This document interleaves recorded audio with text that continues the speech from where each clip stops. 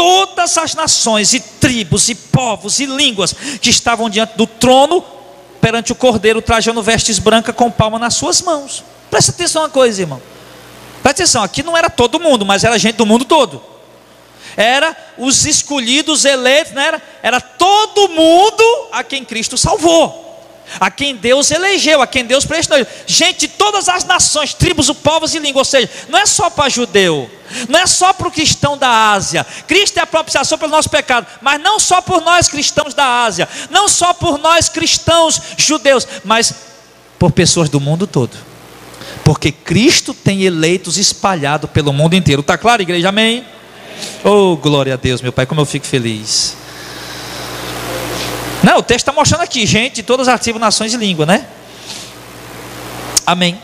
Então vou voltar para cá. Então, irmãos, é isso, né? Ele é a propiciação pelo nosso pecado, mas os cristãos da Ásia a quem João estava escrevendo, os nossos pecados, cristão da Ásia. Cristo não é, Cristo é a propiciação pelos nossos pecados, irmãos, tá? Para nós aqui da Ásia, mas não só pelos nossos, mas também pelo mundo todo.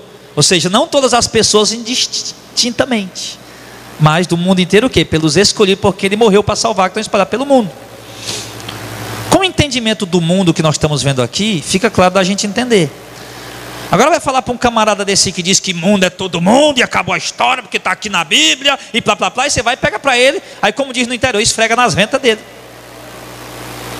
Meu filho está dizendo que mundo é todo mundo, pois vem cá, os fariseus estão tá aqui, é dizendo, todo mundo seguiu Jesus, foi todo mundo seguiu Jesus, meu filho? Está aqui, todo mundo odiou, foi todo mundo que odiou? Irmão, você tem que entender melhor a passagem. Então, o texto a seguir, nós vamos ler agora, 2 Coríntios 5, 9. Ele segue o mesmo princípio. E a gente vai já concluir. Daqui uns 15 minutinhos a gente conclui. Vamos lá, 2 Coríntios 5,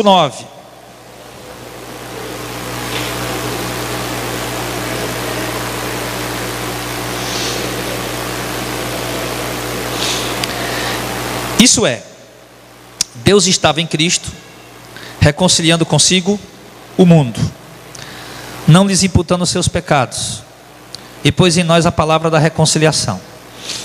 Aí eu pergunto: quer dizer que o mundo inteiro se reconciliou com Deus? Não. Está todo mundo na igreja aí, irmão? Tem mais ninguém desviado? Tem muita gente desviada. Tem muita gente não está na igreja. Mas ele não está dizendo que, que ele veio para reconciliar o mundo inteiro com Deus.